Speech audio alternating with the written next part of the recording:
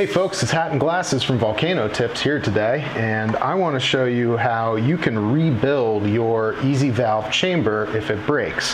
One of the great things about the Volcano and Storz and Bickel products is you can pretty much buy any part to replace and fix it yourself.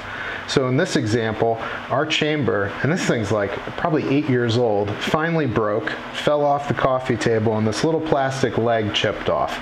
It still works just fine, but it kind of bothers me that it's not perfect. So I decided I'd buy the parts and I would rehabilitate this easy valve chamber and make it like new again.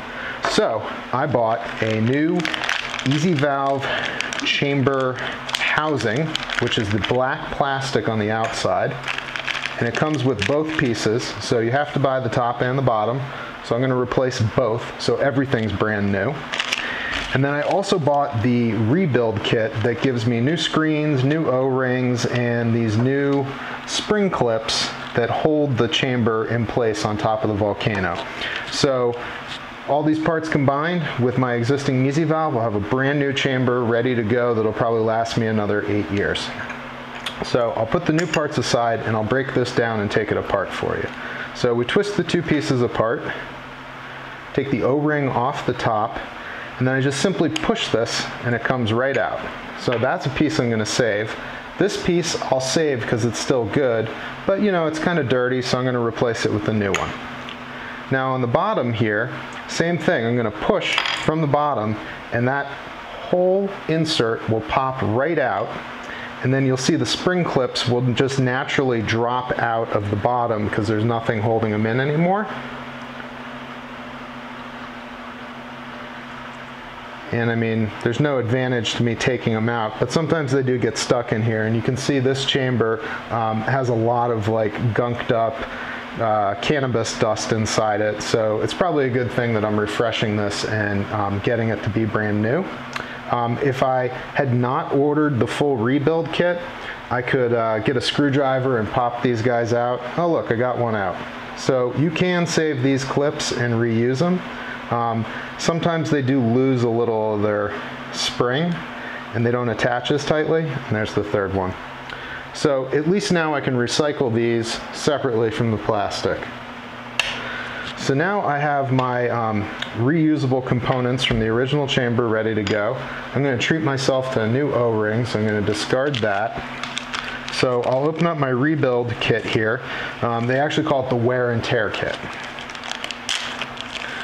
So one thing that's nice is it's always good to have one of these brushes.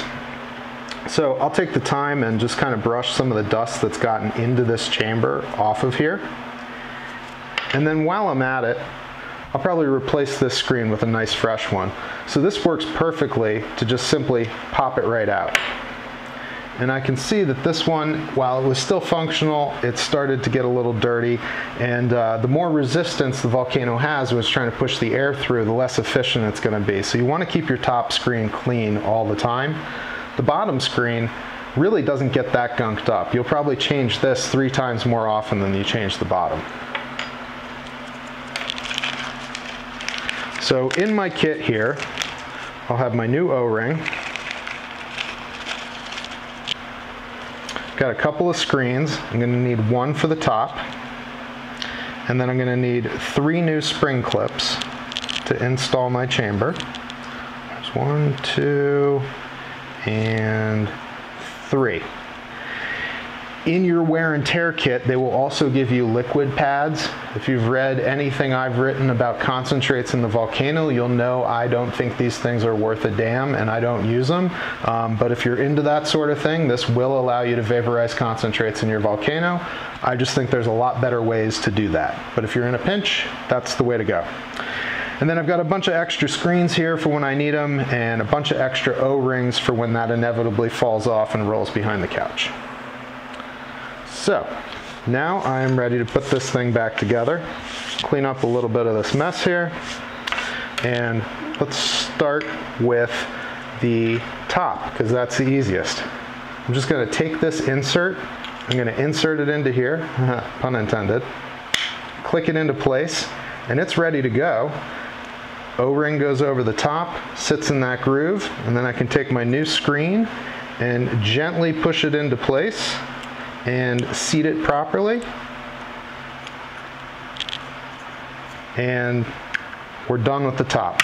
Now the bottom is a little trickier because what we need to do is we need to get these um, spring clips situated. So there's three legs on the chamber housing. Each one fits in to one of these slots within the leg. So you'll see there's this little piece on the spring that comes off at a right angle. That piece slides into these little slots on these legs.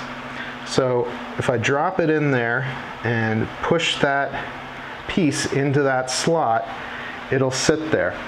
But as I go around, it'll fall off. So the challenge is to get all three of these in, keep them balanced, and then pop the chamber in.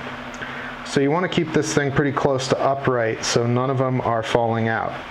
And as I said that, two of them have fallen out into my hand. So this three minute video may become 10 as you watch me struggle here, but we're gonna make it happen.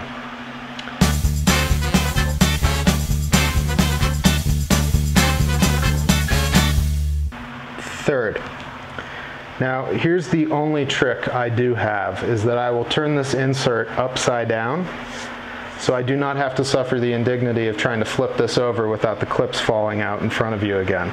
So I'm just going to lift this up and drop it down on top of here and push it down until it clicks and that'll lock those clips into position.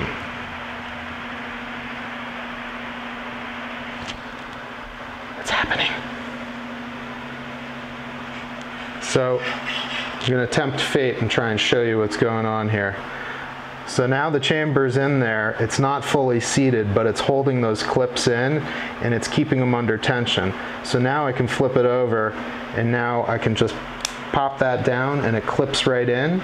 And now these spring clips are fully seated, they're not coming out, and they will grip onto the top of a volcano so that when you fill your bag up, you don't have to hold it and keep it from falling off.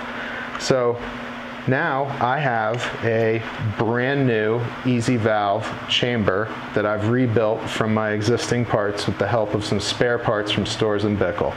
So that's just one of the great things about the Volcano is that I bought this probably eight years ago and I'm still able to get parts for it and fix it and replace it. And that's pretty cool. So thanks for watching. Hit us up with questions in the comments.